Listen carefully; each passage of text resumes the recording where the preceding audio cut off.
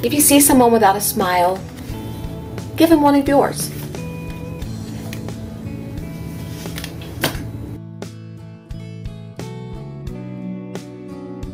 Hey everyone, Laurie here with my second Roben Marie Smith Design Team project. The first thing I want to do is get started with the actual cards that you saw at the beginning of the video and later on we'll be using Roben Marie Smith's Art Pop cards, the Wait For Me collection and also the In the Garden collection of stickers. But the first thing I want to do is start with the cards and that's going to be done using business cards. Now, if you don't have business cards, you can go online and look for a template for business cards and print it out and use that. I would print it on a cardstock, a little bit heavier than printer paper, so that you can put paint and all the things we're going to do on these today. The first thing you need to do, get rid of all of your inhibitions. This is playtime. This is fun time. This is anything goes. Let's just have fun on these cards. So the cards I'm using are the Avery and it's ivory two-sided printable clean edge business cards. That doesn't matter. All that matters is that you have a sheet of business card template so that you can paint on it and then you can cut or tear them apart. Doesn't matter what color or who makes it or anything else. Because I'm going to be doing a lot of painting, I'm putting down my nonstick craft sheet. There will be a supply list below. So first thing we're going to do is take our card sheet and I am going to be using Deco Art markers. The first thing I have to do to decide on colors is decide what art pop card I'm going to use. And we won't be playing with it right away. That comes later, but I'm going to choose the card right now so that I can use my card as inspiration for the colors I'm going to choose. And I'm going to be using the big one. There's two sizes in here. I'm going to use the large one. And I think what I'll use is this one. I really like this one. Okay, so let's put that down and have it in front of us so that we can look at it and you say, okay, there's greens, yellows, blues. So I know from my Deco Art markers and the paint colors I choose that I'm going to choose colors in this color scheme so that my cards kind of go with this. They don't have to match perfectly. They're not going to. This is an anything goes project, so just go for it. You want to make your cards black? Make them black. That's up to you. What I want to do is I'm going to look at my card. I'm going to have it braced up up here out of camera. You won't be able to see it. And I'm just going to use it as my inspiration. And I'm going to say, okay, I've got yellow, so I'll put yellow out. Maybe the gold. Definitely the green, the blue, a little bit of pink. Might not use it. No purple. I might use the gray. I'm just going to start writing. I'm going to write words. I'm going to write a sentence. I'm going to write my name. I'm going to write numbers. It doesn't matter what you write. I'll start with the blue, and I'm just going to write, Laurie was here today. And then what I want to do is I'm going to turn my page I wrote this way. I'm going to just turn it. And I'm going to choose my next color. And let's say we're going to go with a little bit of pink. We don't want a lot of pink, so let's just do a little bit. And I've already got some color here, and it's a little bit wet, and I haven't dried it. So instead of blending these, I'm just going to kind of write in the white space. Normally, I would dry this and then write all over it again. And you'll see that in the next step. I like the number 9, so I'm just going to put number 9. Write the word happy, art, go for it. And I'm going all the way to the edge, even though it's perforated and you're going to tear it off. This edge, when you're done, you can still use it in your art for something. So let's write something over here. Let's write, be creative. Okay? And then we'll put another little, nah, little, little squigglies there. All right, so we got a little bit of pink, and we're done with that. So now I want to dry this because this is a little bit wet and I don't want to put another marker on top of this. Okay, now it's dry. I've written this way, I've written this way, I'm just to turn it this way now. I love these art pop cards. I do love them. And put a little heart, put the little nine over there again, and little squigglies.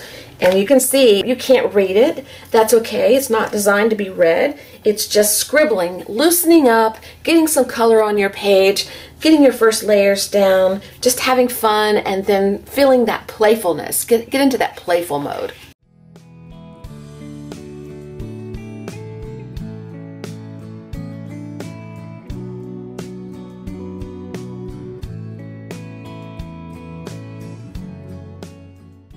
Our next step is going to be adding paint colors.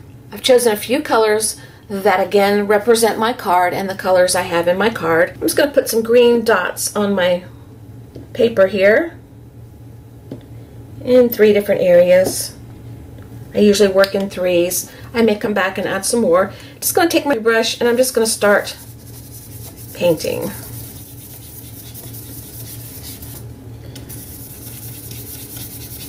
And one of the things I like about Dina Wakley's paints is they are a little bit semi-transparent, so you can see the marks through here. By the time we're done, you may not see these marks, and that's fine too. But if you do see them, that's fine too. And it's just a little added surprise, added, added bonus.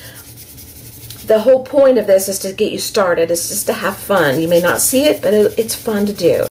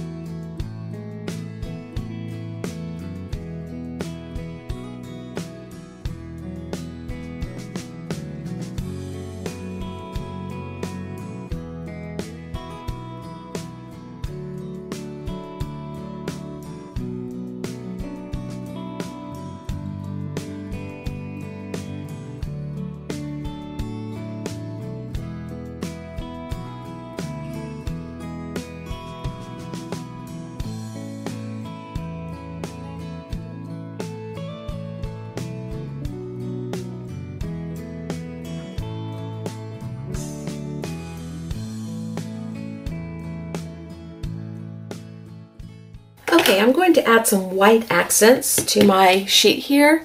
And what I'm going to use for that is a Mean Streak. It's by Sharpie. You can get this at an office supply store.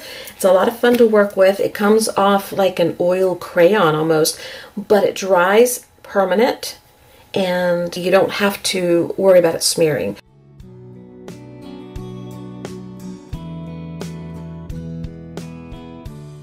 Okay, that's all dry. The next thing I'm going to do is put my stamping on. And the stamp set I'm going to use today is the stamp sheet called Natural Elements, and it's by Rae Missigman. And I've pulled out a few that I really like from this set. I don't know if I'll use all of them, but I have them set aside. So you just go through and pick out the stamps that you like. So I'm going to also use several colors of StazOn ink.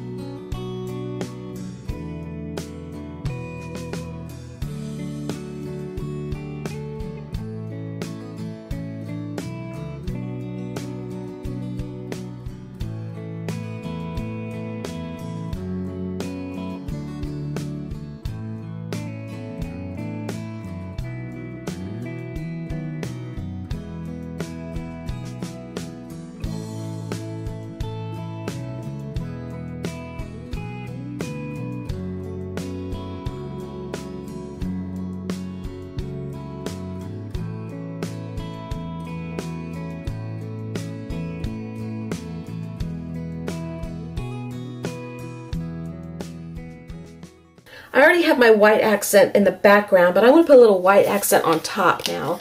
And what I want to do is take my white paint, and I'm going to put a little bit out on my mat here, and then I'm going to kind of spread it with my finger. I take a piece of corrugate that I peeled the little paper off, and this is the exposed piece of corrugate.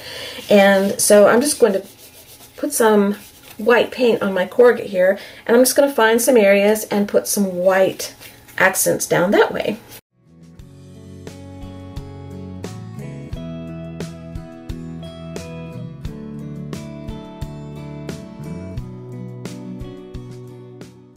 dried that and now I have one more thing I want to do. You can use a stencil, sequin waste, also known as punchinella. I'm just using my finger because it doesn't have to be perfectly neat. I'm just going to put some of this color on here.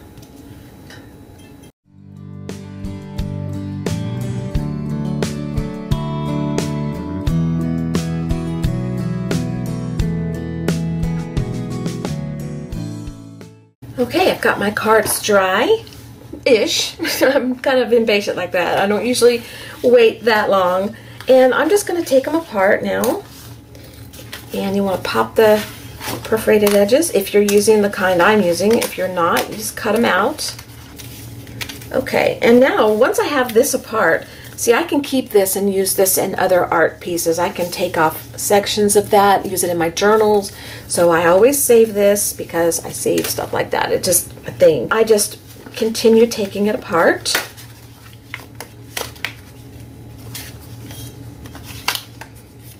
Some pieces might be a little more dark than others. Some might be lighter. Some might have more color. And if you find that you don't like it or you want more color, just add more. You can do it on individual cards. Okay, so now we have our individual cards.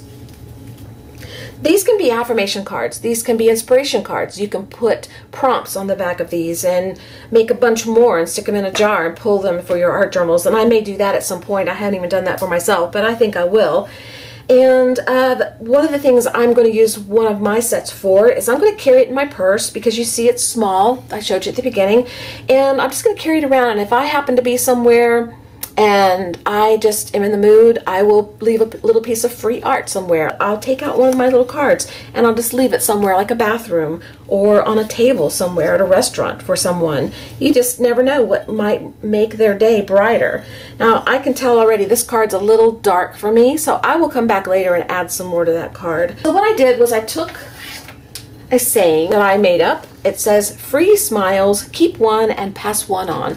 And so this set here is going to be for cheering someone up, just uplifting someone. The way I did this was I created an 8.5 by 11 image in Photoshop and then I wrote my little text and I lined it up according to the size of the back of the cards. And if that's trouble for you, just print out your saying and cut and paste it the best you can. It's the thought that matters, in my opinion. So then what I'm going to do is I'm just going to take my cards, and they don't have to stay in order, and I'm going to put this saying on the back of each card.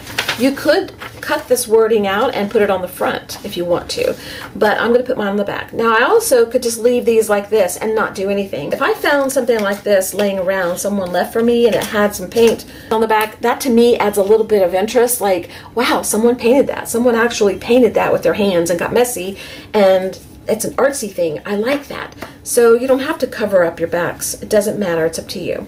So I'm going to do a few of these off camera and then I'll do the last one with you so that you'll see what they look like.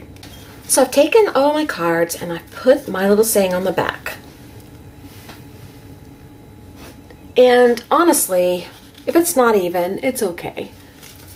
So these are done and all I did was just line up where they go, kind of cut around, and then I'm just going to glue it on the back. Now if you're proficient with using your printer and the template that Avery supplies you with when you buy business cards, go ahead and print out your little saying on the back of your card before you decorate your cards. Don't run a decorated card through your printer. I wouldn't recommend that. But you could go ahead and do that. I didn't feel like trying to do that process today because the other way was faster for me. I've done business cards before, so it'd be the same thing. Just run it through on the side you want to and then just decorate the opposite side. But this way it's just as easy. And you can write your little notes if you want it personalized.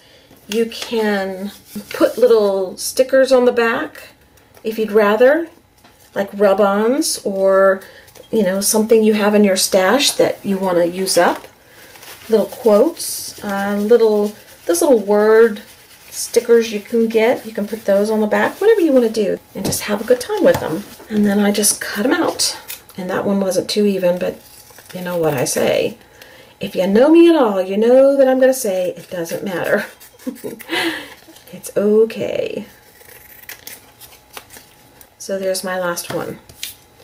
All right, so now we're going to move on to making the little holder and we're going to make it out of this art pop card. And so you can set these aside for now. Let's get started on this. Okay, to make your little card holder, this is super, super, super easy.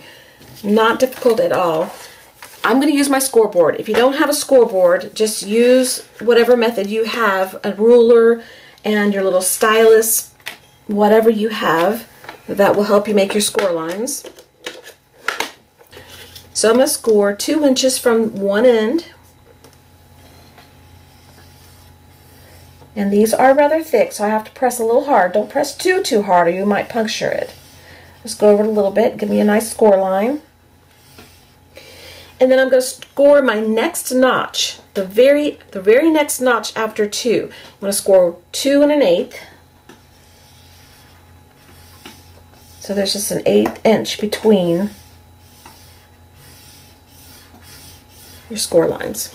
Okay, now I'm going to turn my card over to the other side and I'm just going to score one and a half inches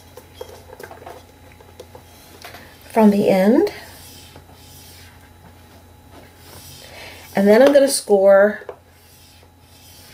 1 and 5 eighths, which is the very next notch over, which gives you one eighth inch gap.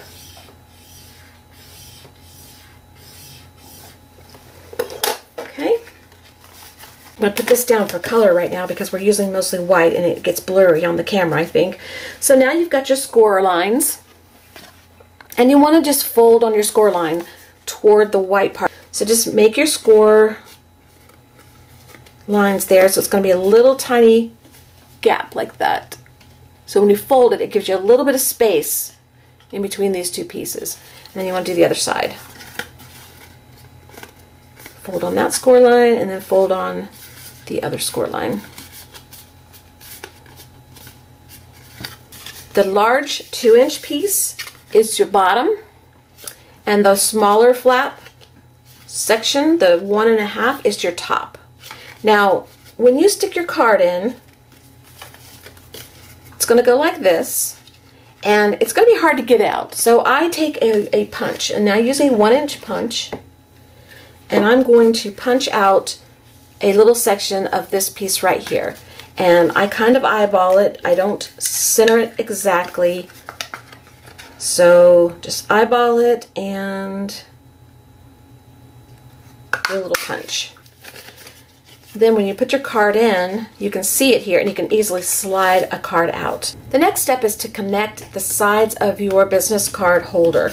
And when I put my business card in, I don't want it to fall out, so I need to secure it over here. I didn't want to go into a big deal of trying to secure the whole side, so I just thought that I would use my sticker tape and go around my card holder here. But if you use sticker tape, this little gap here, you're going to have sticky on the inside of your holder and your card might stick to it. So to prevent that, I add a little tiny piece of paper right here so that when my sticker goes around, it's covered over the paper so the paper is what's on the inside of your holder. It's really easy. I just take a piece of paper, this is just what I'm going to use. It's a scrap. And I cut two pieces that are one inch by two inches. Okay, so I've already got one cut here, except it's three inches long. So let's just cut two inches. Okay. So that's one by two. And here's another piece. I'm going to go one inch.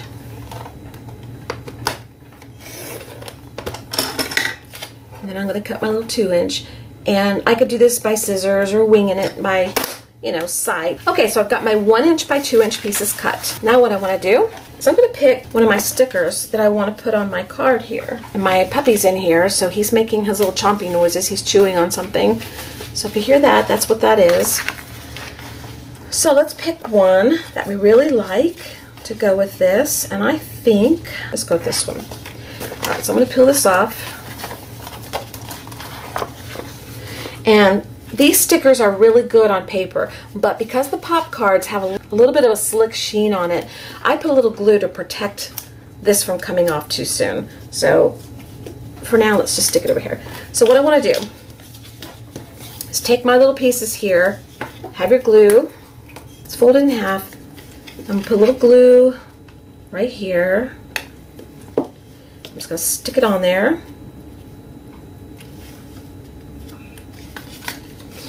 And you've got a little space here, so when you fold over, make sure you allow for a little bit of space. And then glue on the other side. And I don't need it as long as that, so I'm just going to cut off a little bit here. You can leave it if you want, but I'm just going to cut it. So now we've got a little piece of paper on the side here. So we go put our sticker on, the sticky won't be inside of our little card case. Now, I'm not going to put this other one on yet because I want to line this up so that the sticker is kind of even and meets. Start in the front here. Just put a little glue down to help your sticker stay.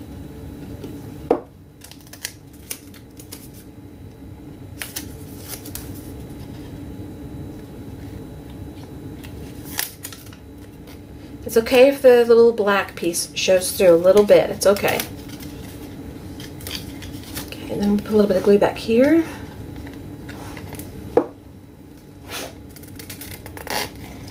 Now I want my piece here to protect my sticker on the side here.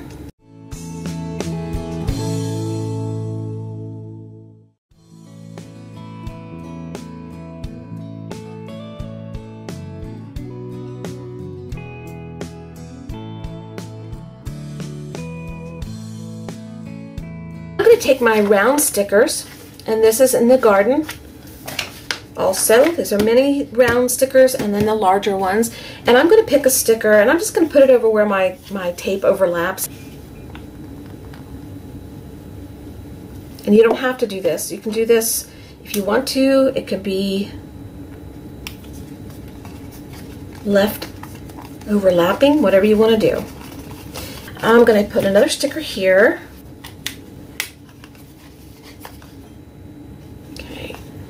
And I'm going to put part of it on the outside.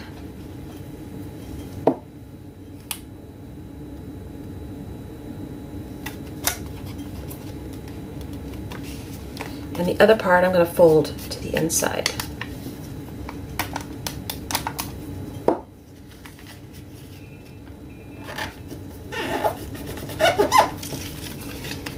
Okay.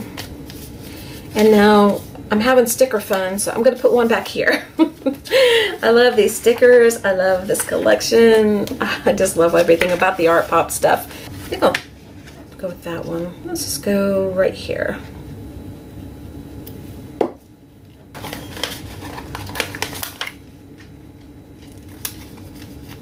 Okay.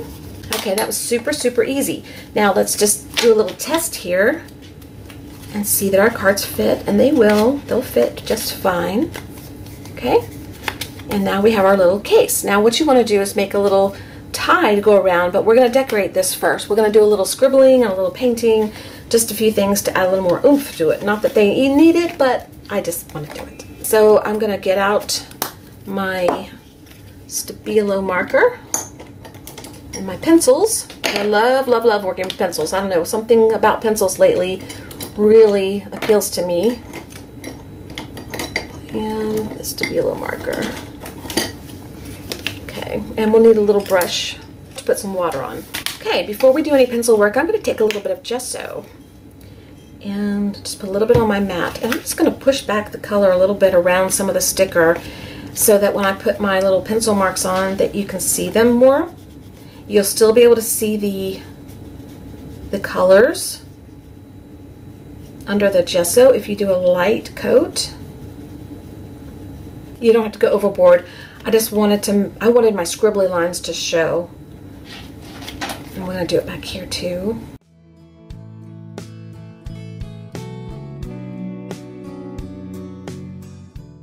let's let that dry for a second. Okay, now I'm to take my pencils and I just use various pencils. I use a regular number two pencil. I use a jumbo jet from Jerry's Artorama, which is just a regular pencil. It's a bigger lead, softer lead. It's a little smushy, but it's not water soluble. I use my China marker and I use the Stabilo, which is water soluble, and that's what I want my little brush for in case I want a darker uh, marking. But I'm just going to take my regular pencil first, and I'm just going to go around, and I'm just going to go around in circles like this. And do not be afraid to do this. It's fun, and you don't want to miss out on that fun. And just go back and forth, squiggly lines, scriggle, scriggle. And sometimes I might write my name like I did on those papers, or I might write another word like art or love art, just all kinds of stuff. And then I'll switch pencils if I feel like it and want a little bit more softer, smushier look, and I'll smush it with my finger. And by the time I get through, if I don't like the color, if I want it a little darker, that's when I'll go to my Stabilo. And I think we'll do that today just because I feel like it. China marker, just a little bit here.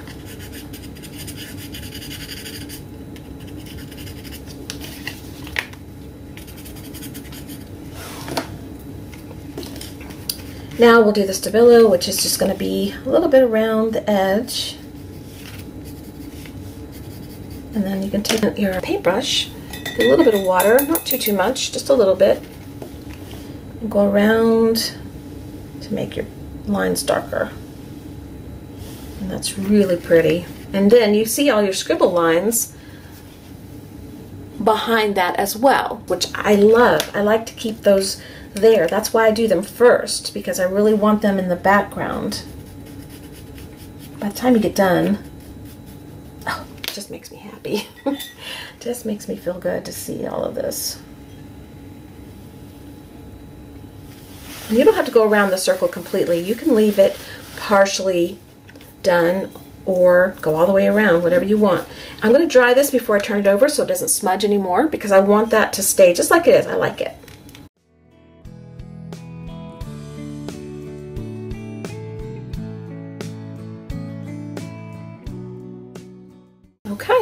I'm to dry this side. Okay, the next thing we're to do is add our little ribbon so that we can wrap it around and kind of tuck it down so that it's tied off and stays closed in your purse. You can put Velcro here if you want to. You can make this a magnet if you want to, but you're to take up space back here for your cards, so I didn't want to do that. But I like the ribbon idea, so we're to do that. And I pulled out some ribbons here.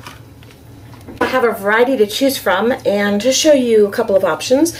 I've got a few little funky buttons here that I've had for a while that I might use, I don't know. I went through my fabric stash and I just pulled out some little scraps here that I might use and I have a little charm that's a hole in it that I might use at the end of my ribbon. This is seam binding and this is very pretty. It goes with it. It'd be safe. And this one here is very pretty and I really like that with it. And then I found this ribbon in my drawer that I liked. And I think I want to go with this one. It's different. It stands out. It doesn't, these are pretty. They're safe, but I don't want to be safe. And then I'm going to decide on my fabric pieces here. I'm just going to put a little bit of fabric on the top here and I'm going to stitch it down. And let's see, I like the yellow. And there's a little flower here if I wanted to use that. Hmm. And I really like this lace. So let's pretend that I've got this sewed down and we put this on it. And stitch it down. I like that. So we're going to go with that.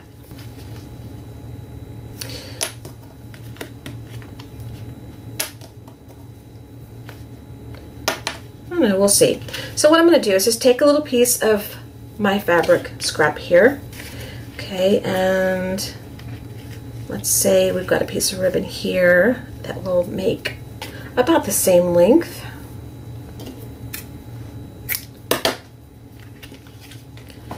And then we want to be able to wrap this around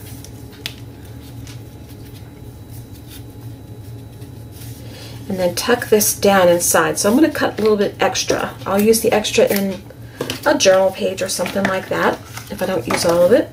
So I'm going to go to my sewing machine. All I'm going to do is I'm going to layer these like this. And I'm going to go to the sewing machine. I'm just going to go back and forth, back and forth, back and forth. I'm not going to do zigzag or anything. And just back and forth, back and forth until this is secure on there. You can glue it. You can do it by hand, whatever you want to do, whatever makes you comfortable. Okay, so I've stitched back and forth. Now when you stitch, be sure that your string goes this way and you don't stitch this way and it goes that way. I did not sew this little loose piece in. I think I'll trim a little bit of it off, just a little bit. And I usually would leave my strings hanging, but in this case I'll probably cut them kind of short. All right, so now what I want to do is I'm going to add this little charm at the bottom of my ribbon and I want to make sure, here I'll put my cards in so we make sure it's as thick as it's going to get when you have your full amount of cards in. Close it and I'm going to bring it around a couple times and then I want to be able to tuck it down right here. So let's slide my charm up. It's just got a hole. Slide it up as far as I need it. And let's say this is good. Now I can I can tie this or I can stitch this like this. And I think what I'll do for this one is I think I'll go stitch it because I kind of like the idea of having the black stitching going across. So I'm going to stitch this and I'll be right back. Okay, I've got that stitched on and I think I'll trim these off. Okay, let's test it again. And I want to be able to stick it down in here, this, just to kind of hold it together. Okay, so I don't need all this trim here sticking out, so what I'll probably do is just trim it off about right there. Okay, now, I also think I want to add a button, and I like this funky looking one here. it really makes it pop. So there's two holes here. I could stitch it by hand on there, or I could just glue it. And I think I want little stitches here, so I think I'll do it by hand, or I'll just fake it and put stitches in and then glue it down. That may be what I'll do. So let me get my needle and thread. This is waxed thread, which is what I use for my book bindings and it just happened to be handy so I'm just going to use it. I was going to go for regular thread like a carpet thread or upholstery thread or just regular thread but I think I'm going to go ahead and just use this because it's handy and it's convenient. So I'm just going to put it through there and just tie a knot on the back now I might leave the strings on there. I think I will.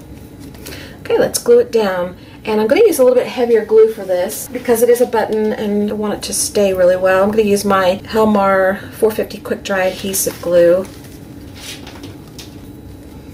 Just going to put glue down here directly. It comes out pretty quick and it likes to keep coming out so I have to close it back before I do anything. Okay, this down. Okay, we'll let this dry and be back in a second. Okay, we're done. There you have it. Cute, cute, cute little business card holder. You could make these your business cards. And like I said earlier in the video, they could be affirmation cards. They could be um, uplift, uplifting kind comment cards. They could be prompt cards, whatever you want. So let's open it up and look at our cards real quick. I love that button on there. I think it's adorable. And then we've got our cards. Now you could go back and you could add more on top here. You could paint little flowers or add a little word or whatever you want to do. It would be really cute.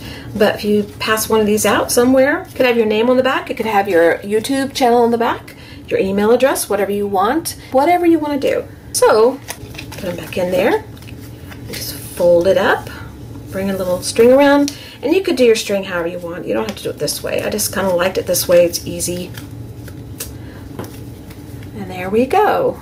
We are done. And here's another one I made. And I didn't have a button on it until today. And I thought the button that I didn't use on here looked really cute on this one. And when you open this one, these are the cards in that one. But there's nothing on the back of these cards. So that's what those look like. Okay.